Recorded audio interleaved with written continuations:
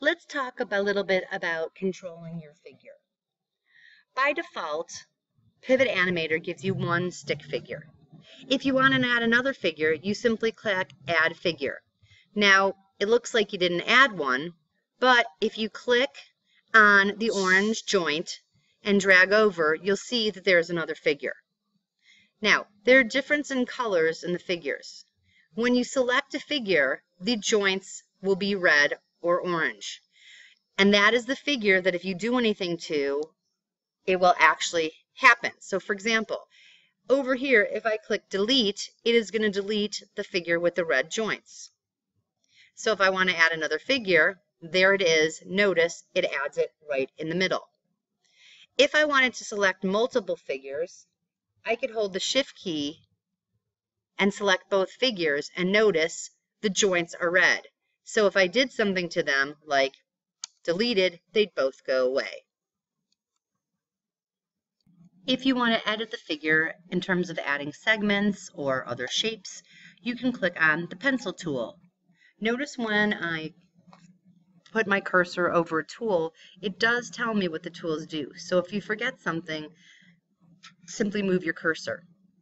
Like for example, this will center this figure. So if I move the figure out of the center and click on center, it moves it back to the center.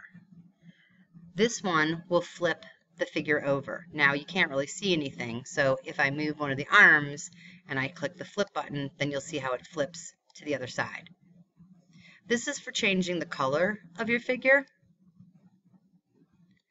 And notice it applies to the whole cover, not just an individual segment.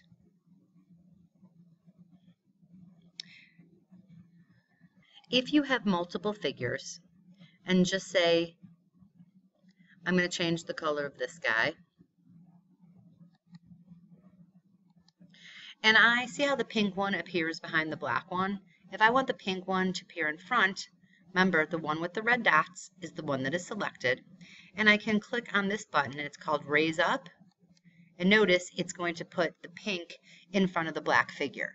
So you might be familiar with this in other programs. It's called send to the forward or send to the back. But here they're calling it raise up.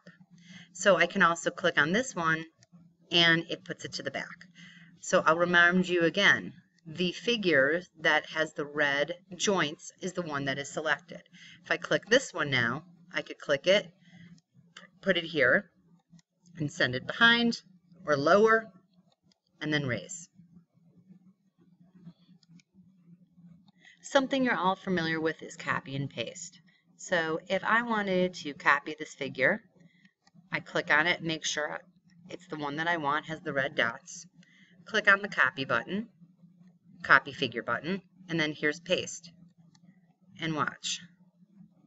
Now I've got another figure, the exact same look. So this would be good if you did a lot of editing to this figure and you wanted to save it and use it again.